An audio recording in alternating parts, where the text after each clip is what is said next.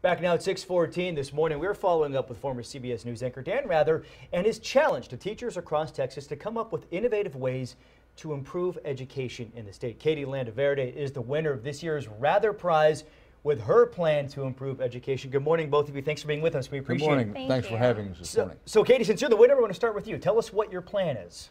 Um, so the plan is to implement morning workshops for um, our elementary students. And um, these workshops will be led by community members, um, our own teachers, and primarily by our high school students. Mhm. And so these are things that any sort of topic they could be interested in, correct? Absolutely, these are of any topic that um, kids might be interested in um, of their of their own choosing. Yeah, so that way it's not being forced on them. They're Exactly. choosing. So, Dan, what was it about this idea that attracted you and won her the $10,000 prize? Well, first of all, I'd make it clear that neither I nor anybody in our family actually made the decision. Okay. We have a process, including the advisory board. But what I like about this idea is, first of all, I really love the part of it where, say, seniors in high school, juniors in high school can be helping elementary students follow their mm-hmm. curiosity, follow their passion. The second thing I like about it, it can be implemented anywhere. It doesn't take a lot of money. In fact, it mm-hmm. takes almost none to implement this particular project. So often we find things that improve schools. Well, somebody says, how are you going to finance it? So this is low cost, if any cost. So those are among the two things I like about it. The main thing I like about it is the teacher came up with an idea. yeah. So, Katie, you're up in Dallas. Have you guys started doing this yet, or is it still in the planning? Um, we well, we just we just won the prize yesterday. Oh, um, good point, so- yeah. yeah. So uh, we're we're in the early um, implementation stages, and and we're really excited to roll this out um, really really quickly. And so, how quickly do you think it can happen? Um, well, we're hoping to start it this coming school year, the Uh, beginning of the year. That's fantastic. It's really great. And, and Dan, while I have you here, I would be remiss if I didn't bring up um, questions about our current um, political climate and the and the relationship between the media and the president. There have always been squabbles between the two. But is, is this what we're seeing right now any different than what you saw during your career? Well, it is. The press's job, of course, is to be aggressive. Yeah. The press's job is to knock on doors and say what's going on in there because news is what people need to know that some powerful person doesn't want them to know. That's news. Most of the rest is commercial propaganda. But I do think for this early in the presidency, we've never had this poisonous an atmosphere.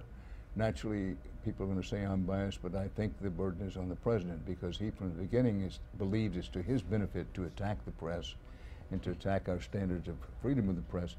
But I do think, as, a, as I say, early in the presidency, we've never had it this, this bad. Mm-hmm. In the Nixon administration, late in his second term during the Watergate period, but you know, we're still, what, less, fewer than two months into this mm-hmm. presidency. And I do, you know, I'm sad for the country. I, I really detest, I hate what's happening. Mm-hmm. But uh, when people say the press is unfair to the president, I say, look, accuracy and the truth are never unfair.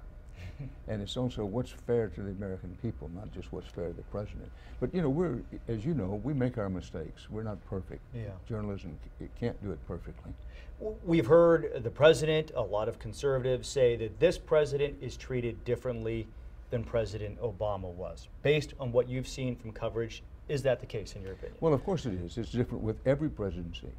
Is he unfairly treated? Uh, President Obama treated the press and First Amendment in a different way. President Obama had a different uh, approach to the office.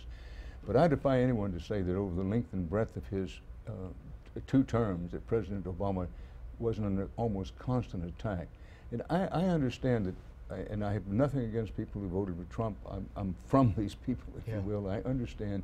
And I don't argue with anybody's but I do, th- do think that you have to see each presidency in itself to say, well, President Obama in the early stages of his presidency didn't get as rough a treatment of the press. He didn't treat the press the way that President Trump has done so. He hasn't broken the norms of such things as, frankly, telling the truth that often.